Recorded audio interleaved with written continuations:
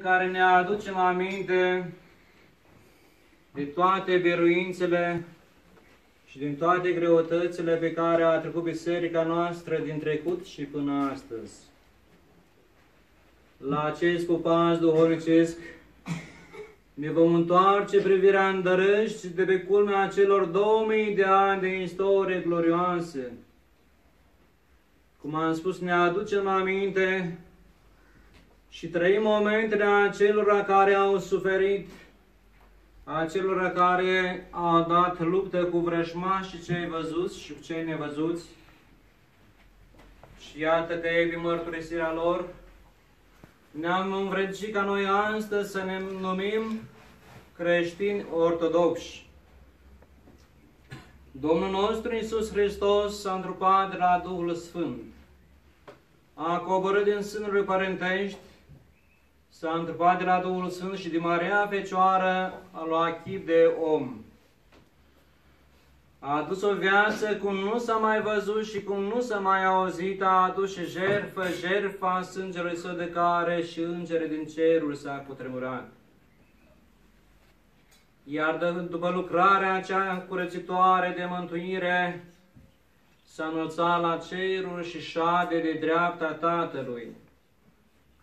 Iar înainte de a se înălța la cerul, lucrarea cea de mântuire trebuia continuată. Și acum ne punem întrebarea, au doar Iisus Hristos, Împăratul cerului și a pământului, înălțându-se la ceruri, a ales un alt împărat, bogat sau înțelept, nu, fraților creștini, a ales oameni simpli din popor, a ales pescari galileeni, care să conducă, care să mai departe să transmită cuvântul mântuitor al Domnului nostru Isus Hristos.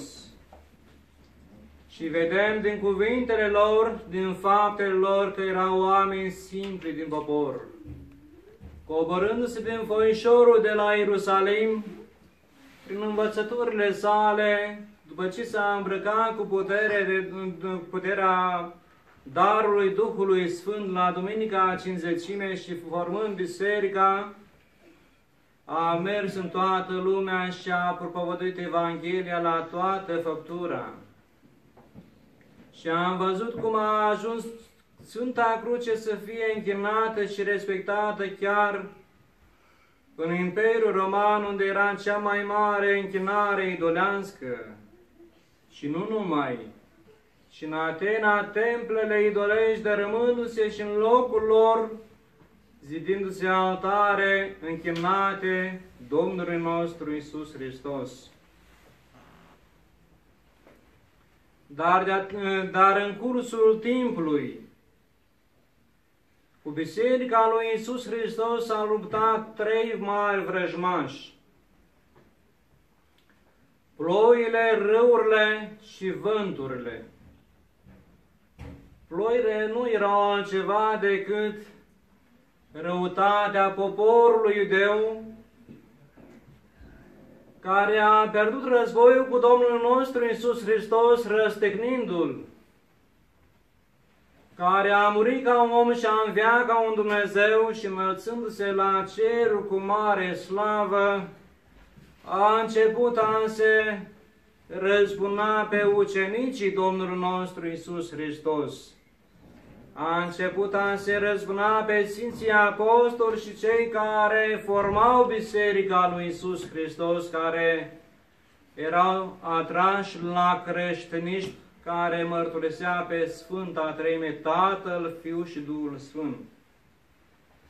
Dar precum potopul cel de 40 de zile nu a putut să nimicească biserica, nu a putut să nimicească curabia lui Noe, la fel și răutatea iudeilor nu a putut să nimicească biserica lui Isus Hristos.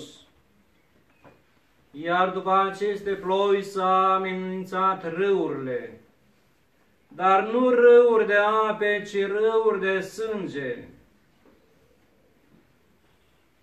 Aceste greutăți porneau din, de la împărații romani. împărați închinători la idol, care puneau fel de fel de chinuri pe sfinții care mărturiseau pe Domnul Isus Hristos. Pe unii tăiau cu ferăstrăul, pe alții îi băgau în butoaie cu ulei încins, pe alții îi ardeau cu făclii, pe alții ungeau cu păcură și îi puneau în pețe să lumineze noaptea, pe alții aruncau în închisori pline de târătoare, pe alții îi maltratau prin fel de fel de chinuri, prin foamete, prin golătate și fel de fel de chinuri pe care le mai putea născoci mintea omenească. Dacă s-ar fi strâns sângele Sfinților mucenici, s-ar fi format o altă mare roșie din sângele lor și din sângele lor, cum spun istoricii bisericii, a fost sămânța creștinească. După aceste râuri s-au amenințat vânturile. Vânturile nu erau altceva decât luptele care au început să vină nu din exterior, ci din sânul bisericii. Căci atunci când Domnul Iisus Hristos a înălțat la ceruri, a urmat Sfinții Apostoli să mărturisească, era numai greutate, lacrimă și sânge pe față și pe trupul Sfinților Apostoli și Sfinții Mucenici. Iar venind la împărăție, împăratul Constantin cel Mare a dat libertate de credință.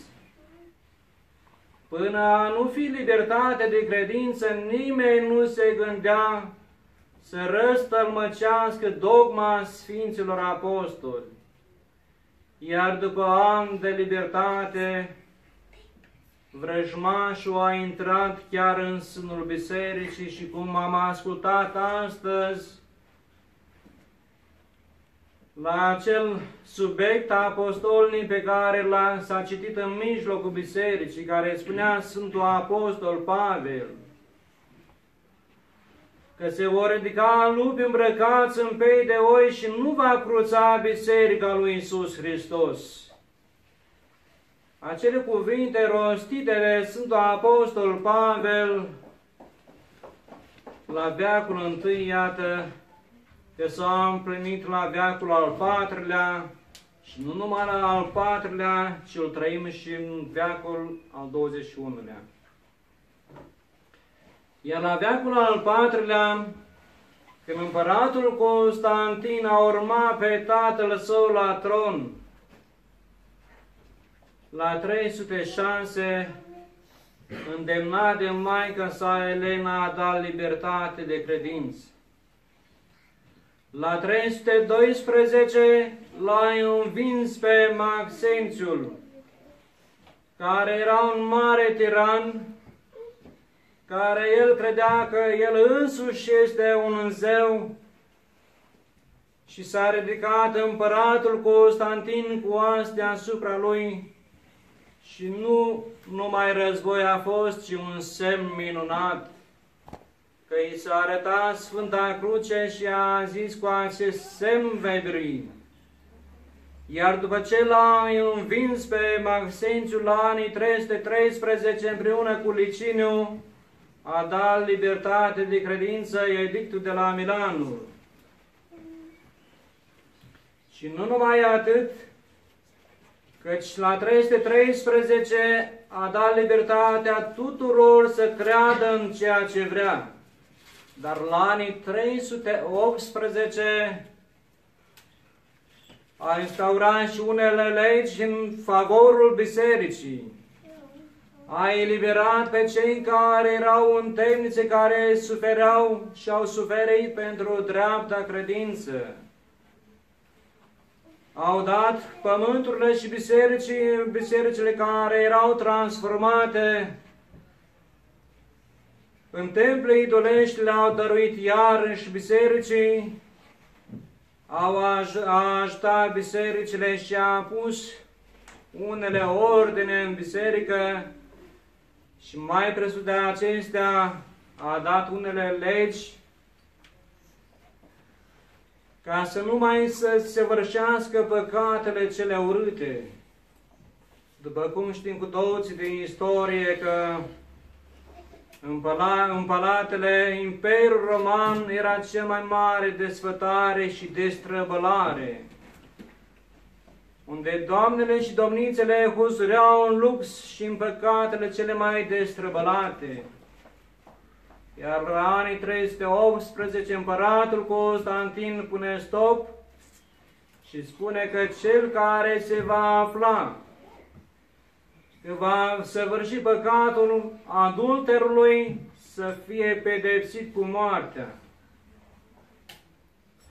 La anii 324, împăratul Liciniu nu mai respectă legile pe care le-a încheiat cu colegul său de împărăție cu împăratul Constantin. Și la 324 îl biruiește și pe Liciniu și însuși rămâne el singur și împărățește tot imperiul singur. Desfătându-se creștinii și ierarhii preoții în dreaptă credință și în libertate, iată că s-au îndeplinit prorocia și cuvintele Sfântului Apostol Pavel, căci vor intra lupi răpitori și nu va cruța Biserica lui Isus Hristos. Și un anumit a Alexandria Egiptului s-a ridicat asupra învățăturii lui bisericii cele adevărate și a început să răstălmăcească și să spună cuvinte de hulă împotriva Domnului nostru Isus Hristos, El însuși nu este unul din Sfânta Treime, ci este cea mai perfectă creatură. Împăratul Constantin, văzând acea tulburare în sânul Imperiului, în sânul Bisericii, a strâns sinod ecumenic, a îndemnat ca toți ierarhii din întreaga lume să se adune și să formeze un sinod pentru apărarea a dreptei credințe cele adevărate. Și s-a adunat la sinod Sfinții Părinți în număr de 318. 318 fiind și o cifră mistică, fiindcă Avram a avut 318 de slugi. La 318 împăratul Constantin dă decrete pentru, pentru biserică și în favoare bisericii. La acest sinod în 325 se adună 318 sfinți părinți, dintre care a fost Sfântul Alexandru din Alexandria, a fost împărat, a fost arhireul Nicolae de Miralichie, a fost Sfântul Spiridon, care, după cum știm cu toții, s-a înfățișat acelor care mărturiseau acea erezie și anume înțeleptului Tertie, cum îi spunea Arie. Și l-a pus față în față cu Sfântul Spiridon. Sfântul Spiridon, îl știm cu toții, un era plin de sfințenie, dar nu găsim în cărțile ortodoxe multe învățături de credință, căci era om simplu. Era păstor, păstor de oi și a ajuns să fie păstor de oi cuvântătoare, dar cu o credință puternică în Domnul nostru Isus Hristos și când s-a înfățișat în fața filozofului Tertie, a luat o cărămidă în mână, minunea cu cărămida care tot creștinul o știe, și cum a mărturisit dreapta credință închinată în Sfânta Treime Tatăl, Fiul și Duhul Sfânt, spunând că unul este Dumnezeu Tatăl, care este izvorul din care se naște Fiul și Cuvântul lui Dumnezeu și din care purcede Duhul Sfânt din Tatăl prin Fiul. Și când a rostit aceste cuvinte, focul s-a ridicat în sus, pământul a rămas în mâinile lui, iar apa s-a revărsat pe pământ, un simbol căci focul este Dumnezeu Tatăl, pământul este Dumnezeu cuvântul care le s-a întrupat, care a luat trup omenesc, iar Duhul Sfânt care se revarsă peste întreg pământul și peste întreg neamul creștinesc. Am mai luat parte la acel sinod chiar episcop din, episcop din România, din părțile Dobrogii. A luat parte diaconul Atanasie, care era diaconul Sfântului Alexandru din Alexandria. Și toți a răpus pe acel arie care nu a crezut în Dumnezeirea Fiului și a avut o mare vedenie Petru a Alexandriei când l-a văzut pe Domnul Isus Hristos îmbrăcat în hainele sale, dar haina sa era zdrențuită. Și îl întreabă Petru a Alexandriei, Doamne, cine ți-a rupt haina? Iar Domnul Iisus Hristos îi răspunde, Arie cel nebun. L-a decăzut din cinstea preoției, l-au dat anatima. Căzând de la anatima, iarăși biserica și-a luat cinstea, a fost apărată de lupi, dar nu până nu pe o durată prea mare, că din acești arieni iarăși s-au rupt alții care au căutat să, să spună că Duhul Sfânt nu este un ipostas, nu este un Dumnezeu, ci este Duhul Sfânt este ceva mai presus decât îngerii, că și îngerii sunt duhuri. Împotriva acestora eretici, Macedonie și Apolinarie, s-au strâns alte sinoade, sinodul de la 381, unde a fost ca președinte de sinod Sfântul Grigore, teologul. Alt sinod ecumenic a fost la, la 300, la 431, împotriva lui Nestore care nu credea în Maica Domnului că este născătoare de Dumnezeu și spunea că este născătoare de om, sau cel mai mult putem să-i spunem născătoare de Hristos. Iată, fraților creștini, cuvintele Sfântului Apostol Pavel care spunea că va intra în lup și nu va cruța Biserica lui Isus Hristos. Dar împotriva tuturor erezilor acestora s-au adunat bărbați sfinți. Nu mai povestesc toate sinoadele cele până la al șaptelea, cu care s-au confruntat Sfinții Părinți, dar apreciem pe toți și ne punem întrebarea cum acei Sfinți părinți din trecut au putut să apere, au putut să mărturisească chiar cu prețul veților și nu s-au temut de moarte?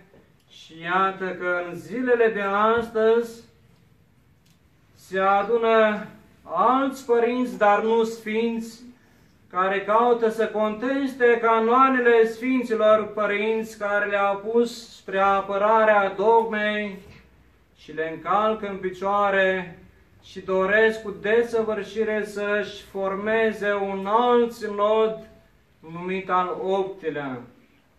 Sinodul al optelea este prorocit de Sfinții Părinți că nu este un sinod pentru apărarea drepte credinței, ci un sinod pentru dărâmarea și destrăbălarea și pentru cele mai urâte fapte care se vor pune și se vor ridica împotriva bisericii. Cred că ați citit cu mulți dintre dumneavoastră acel memorandum din, de la Geneva la anii 2014. Ceea ce doresc ei să facă și să organizeze împotriva bisericii atâtea legi contra credinței cele adevărate și care vor începe din anii 2016 și până în 2020 toate să se realizeze. Și anume că în biserică să fie, să se introducă și alte muzici, cum sunt la catolici, și parcă citindu-le spui că nu este adevărat. Dar iată că la Cluj s-a îndeplinit. Pe soleia Sfintei Biserici s-au adunat cu tot felul de organe de a lor și au intonat muzici împotriva și în contra bisericii și ne punem întrebarea au doar ceea ce au semnat ei sunt minciuni, minciuni sau sunt lucruri adevărate pe care vor să le îndeplinească. Și iată căci cu pași mărunți merg tot în față. La acel sinod care l-au ținut la acea ședință la Geneva, au mai spus că Sfânta Liturghie din ziua de duminică pe timp de vară să nu se mai săvârșească dimineața, ci să săvârșească seara și doar o oră jumate. Iar pe timp de iarnă să se săvârșească dimineața de la 9 jumate. Preoții și arhiereii să nu mai poartă barbă și ținuta și veșmintele sale. Sfinții antisemiți să nu mai fie prăznuiți și ne dăm seama că este numai mâna jidovească, numai mâna masonilor care vede pe Biserica lui Isus Hristos ca un dușman împotriva diavolului și apropiindu-se Ania care au prorocit Sfântul Apostol și Evanghelist Ioan, căci se va arăta ucenicii lui Antichrist și mai apoi chiar Antichrist și acum nu ne este nouă altceva să credem că și acele timpuri s-au împlinit. Am înțeles că guvernul din România a propus unele legi căci banul lichid să fie strâns de pe piață și să se introducă acel card bancar. Și a mers spre a fi aprobată de președintele Iohannis, ceea ce președintele a spus că încă nu suntem pregătiți. Dacă se va îndeplini, am făptuit această faptă a lor, iată, că nu ne este nouă să ne mai gândim căci mult va mai fi până la sfârșitul veacului. Și acei ierarhi îmbrăcați, înveșmântați, nu sunt decât lupi îmbrăcați în pei de oi, căci acele legi urâte și împotriva bisericii pe care le-au semnat în guvernele din Grecia și urmează și în România, doresc să fie semnate și de ierarhii bisericii. Se vede și se cunoaște căci în sânul bisericii s-au introdus și au crescut lupi și au introdus acei care nu slujesc cu adevărat bisericii, dar să pună mâna și să stăpânească biserica. Pentru aceasta ne este nou un semn de, de întrebare, pentru aceasta ne este nou un îndemn să ne trezim astăzi și să pornim cu toții cu mare credință pe calea bisericii și aici să dăm slavă Bunul Dumnezeu că din voința Lui s-a deschis acest paraclis unde se săvârșește Sfânta Liturghie.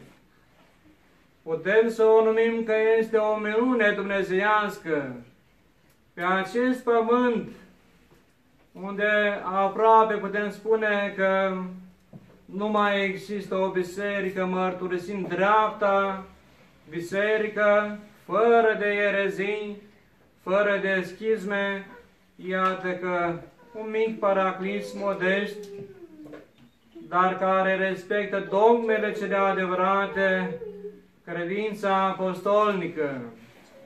Să știm cu toții, fraților creștini, că Domnul Iisus Hristos, când s-a înălțat la ceruri, a lăsat biserica să fie catacombile. Când va veni Domnul Iisus Hristos pe cruce, precum a făgăduit la înălțare, să nu se întristeze Sfinții Apostoli când ce fel s-a înălțat, tot în acel fel va, veni, va reveni iarăși înapoi, va veni cu slavă pe norii cerului. Și așa cum a lăsat-o biserica înălțându-se, tot așa o va găsi. Puternică ca astăzi. Astăzi de multe ori o vedem credință căldicică, cum spune Sfântul Ioan Gură de Aur. Și spune Sfântul Ioan Gură de Aur căci omul căldicel este cel care place cel mai mult vrăjmașului. Atunci când ești ferbinte, diavolul nu se poate apropia. Iar atunci când ești rece în credință, diavolul nu are nicio treabă cu tine, știe că ești al lui. Dar atunci când ești căldicel, ești cel mai bun, ești ca o mâncare călduță pe care toți noi vrem să o mâncăm, nu ferbinte, nu rece. Așa diavolul caută și ne prinde pe cei care suntem căldicei